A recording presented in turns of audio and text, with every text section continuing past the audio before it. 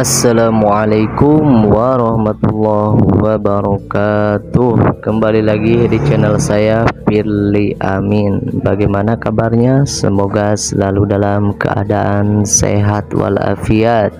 Buat teman-teman yang ada niat buka usaha sendiri Maupun usahanya yang sudah berjalan Usaha apa saja yang penting halal saya doakan semoga selalu diberikan kelancaran, kemudahan, juga keberkahan.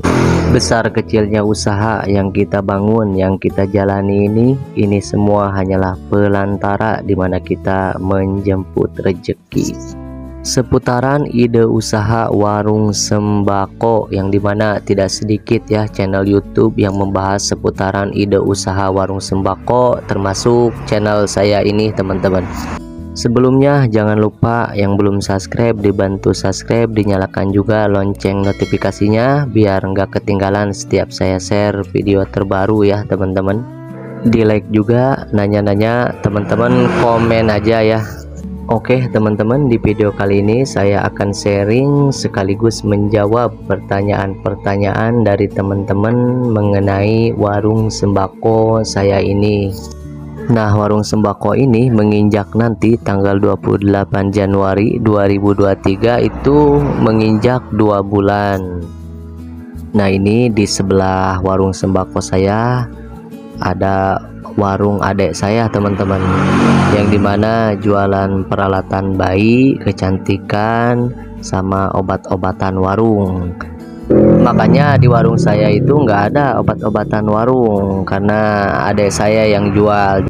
Alhamdulillah ini bangunan maupun tempatnya di tanah pribadi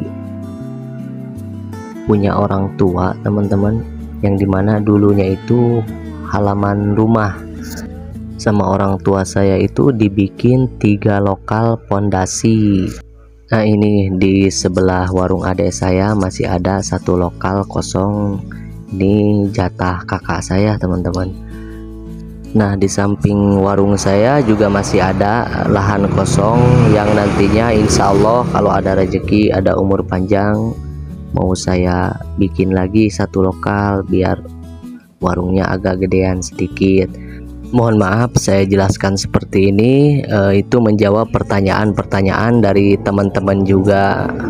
Nah, ini lokasinya warung saya jalan alternatif menuju pantai Pelabuhan Ratu. Nah, kalau misalkan teman-teman dari arah Jakarta mau ke Pelabuhan Ratu ke pantai ngelewatin Bogor Cicurug Cibadak masuk ke jalur Cikidang. Nah itu sebelum nyampe ke kota Pelabuhan Ratu teman-teman bakal ngelewatin warung saya ini teman-teman. Gak jauh dari kantor Kodim 0622 Pelabuhan Ratu kalau misalkan dari lokasi warung saya mau ke pantai itu kisaran 15 menit teman-teman. Pakai motor ya kisaran 15 menit. Oke teman-teman ini warung sembako ukurannya itu 3 kali 4 panjang ke belakang 4 meter lebar ke samping 3 meter. Tinggi depan 3 meter setengah sedangkan tinggi belakang 3 meter. Jadi dari depan ke belakang itu agak sedikit condong teman-teman. Jadi enggak lurus gitu enggak jadi agak sedikit mudun gitu Nah, bangunan dengan ukuran panjang 4 meter, lebar 3 meter itu menghabiskan biaya kurang lebih 20 juta termasuk loring Z tapi tidak termasuk gembok. Juga tidak termasuk pondasi karena pondasi lebih dulu ada ya dibangun sama orang tua saya. Lanjut ke etalase rokok, teman-teman. Nah, ini etalase rokok ukuran kecil panjang 50 cm tinggi sama 50 cm lebar 20 cm beli yang udah jadi harganya 350.000 lanjut ke meja kasir teman-teman. Ini meja kasir ukurannya panjang ke belakang 1 meter setengah lebar ke samping 1 meter sedangkan tingginya 1 meter lebar mejanya 50 cm meja kasir ini saya pesen di mebel tetangga teman-teman. Harganya 1.750.000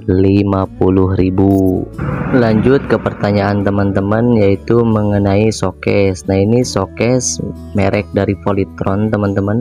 Ukurannya tinggi 180 cm lebar 50 cm ada lima tingkatan ya teman-teman.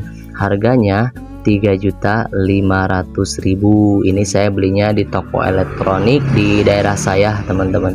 Jadi seperti itu ya teman-teman mengenai warung sembako saya ini. Semoga menjadi jawaban dari pertanyaan-pertanyaan teman-teman.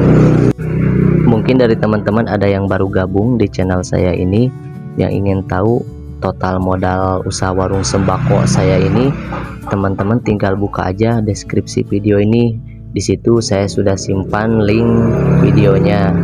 Juga banyak seputaran ide usaha lainnya yang sudah pernah saya share teman-teman buka aja di playlist. Jangan lupa yang belum subscribe dibantu subscribe dinyalakan juga lonceng notifikasinya biar teman-teman gak ketinggalan setiap video terbaru yang saya share. Di like juga nanya-nanya komen aja ya teman-teman semoga usaha kita selalu diberikan kelancaran kemudahan juga keberkahan. Tetap semangat jangan putus asa. Insya Allah di mana ada usaha pasti ada hasil. Juga buat teman-teman yang ada niat buka usaha semoga cepat tercapai. Salam satu profesi salam satu aspal salam cowan Assalamualaikum warahmatullahi wabarakatuh